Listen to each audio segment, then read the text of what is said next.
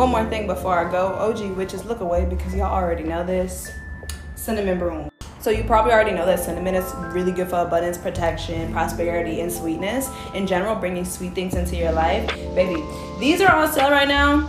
Trader Joe's, uh, Home Depot, everywhere. It's literally a cinnamon broom. Get one of these, put it by your doorstep. This is really good for just attracting abundance and prosperity as well as protecting the home. And it smells fucking amazing.